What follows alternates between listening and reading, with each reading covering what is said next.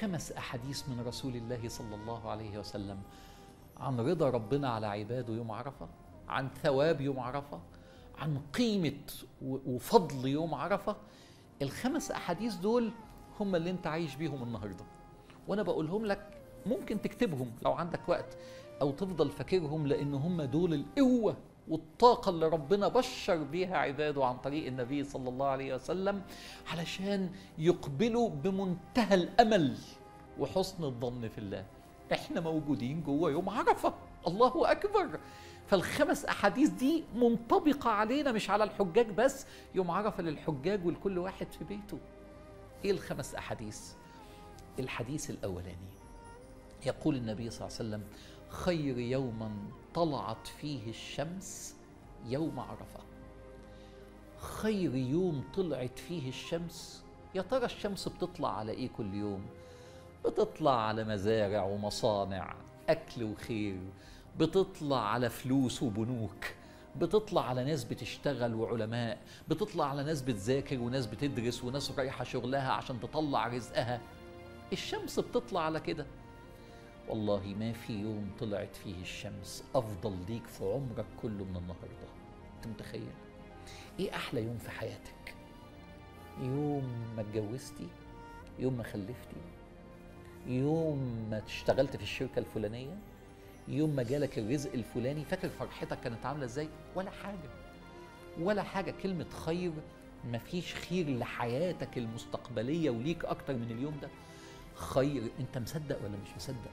خير يوم طلعت فيه الشمس. الشمس ما أشرقتش على على يوم في ال 365 أحسن من يوم عرفة.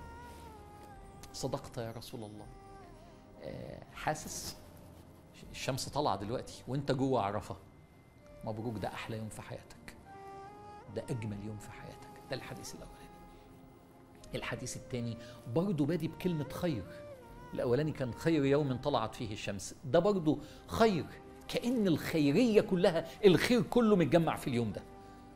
إيه الحديث الثاني خير الدعاء دعاء يوم عرفة. ادعي طول السنة زي ما أنت عايز. لن يكون دعاء يستجاب ليك زي يوم عرفة. لو أنطقك بدعوة الدعوة دي خير ليك. أنت ساعات بتدعي وبتقول يا ترى الدعوة دي خير ليا ولا لأ؟ الدعاء اللي طلع من بقك يوم عرفة خير ليك. خير الدعاء دعاء يوم عرفة. وأكثر دعاء مستجاب دعاء يوم عرفة. أكثر من ليلة القدر. مش كل الناس بتدعي في ليلة القدر لأن بعضهم عارفها وبعضهم مش عارفها. ففي ناس ما دعتش فيها. لكن كل الناس عارفة إن النهارده يوم عرفة. فأي واحد رافع إيده هو الآن فاكثر يوم حبيب إلى الله. حد أيام الدنيا إلى الله يوم عرفة. فهو يقينا مستجاب له الآن. يعني أنا جوه عرفة دلوقتي. الدعاء اللي طالع من بقي مستجاب يقينا مستجاب. علي سقف الأدعية. انت ليه بتدعي بحاجات قليلة؟ ده ده هو ده اليوم بتاع الدعوات اللي شكلها مستحيلة. انت إيه المرض اللي الدكاترة قالوا مفيش أمل؟ النهارده النهارده الدعاء. النهارده تقومين عارف؟ تبص تلاقي دلك بعد عرفة على دكتور قال لك على دواء مبروك. خفيت وانت تايه بتلف حوالين نفسك بقالك ثلاث سنين. خير الدعاء دعاء يوم عرفة. المشروع واقف بقاله ثلاث سنين النهارده يوم الإجابة. الجواز اللي واقف بقاله سنتين النهارده يوم الإجابة. ضيق الحال والديون النهارده يوم الإجابة. خير الدعاء. دعاء يوم عرفة. هتدعي إزاي؟ قلبك عامل إزاي؟ وكل ما المغرب يقرب موت نفسك دعاء.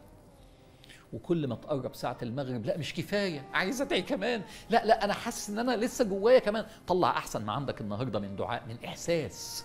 النهارده يوم الإحسان. إيه اللي جاب الإحسان؟ ما هو الإحسان أن تعبد الله كأنك تراه. طلع أحسن ما عندك. ادعي كأنك تراه. كأن دعوتك طالعه الآن إلى العرش. وكأن وكأن الله تبارك وتعالى وكأن الملائكة تؤمن الآن على دعائك وهو حقيقة. والله تبارك وتعالى يستجيب لك الآن. ادعي بالإحساس ده وعندك يقين رهيب. لأن خير الدعاء دعاء يوم عرفة وأنت يوم عرفة. فاكر أنت بتموت نفسك ليلة القدر إزاي؟ وأنت مش متأكد هي ليلة القدر ولا لأ. النهاردة هتعمل إيه؟ مش أقل من كده. ده الحديث الثاني يبقى الحديث الأولاني خير يوم طلعت عليه الشمس يوم عرفة. الحديث الثاني خير الدعاء دعاء يوم عرفة. الحديث الثالث إذا كان يوم عرفة فإن الله يباهي بعباده الملائكة. يقول انظروا يا ملائكتي إلى عبادي. تركوا الدنيا من أجلي. أشهدكم يا ملائكتي أني قد غفرت لهم. أنت بس مجرد أنك تتخيل ده وأنت دلوقتي وقت عرفة ممكن تبكي. بينادي عليهم انظروا يا ملائكتي إلى عبادي.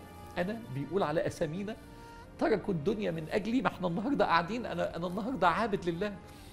أنا النهاردة بين يدي الله عابد. بصوا يا ملائكتي لفلانة الفلانية شوفوا صايمة إزاي. بصوا يا ملائكتي لفلان الفلاني شوفوا بيدعي إزاي. بصوا على فلان ده تائب ليا إزاي.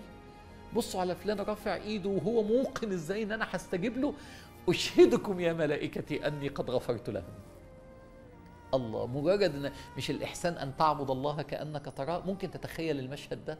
إذا كان يوم عرفة فإن الله يباهي بعباده الملائكة. مش الحجاج بس.